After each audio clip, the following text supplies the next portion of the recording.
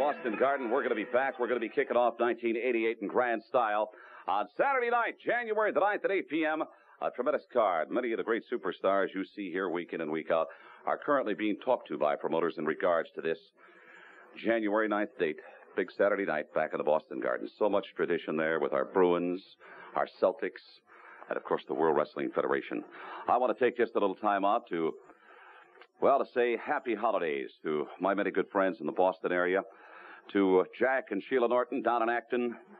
Mass, happy holidays to you. Donnie Quinn at the Garden. Steve Cedachuk. Oh, boy, I'll tell you. Many, many others. Ed Carpenter. Ravishing Rick Rude, come on in.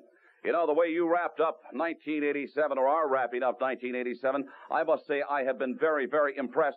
And apparently you caught the eye of others, because now all of a sudden, from out of left field, you as challenger, perhaps the number one contender, as you meet the world champion Hulk Hogan for that title here on Saturday night, January 9th. That's right, little man. You're impressed.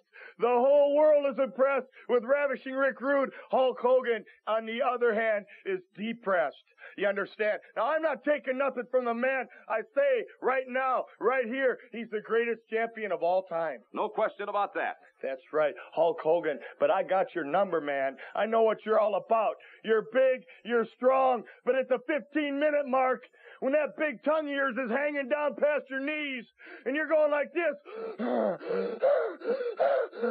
I'm going to pick you up and I'm going to put that big 300 pound body in a backbreaker like you've never felt before, Hulk Hogan. And I'm going to squeeze like you've never been squeezed before. And I'm going to make you say, quit.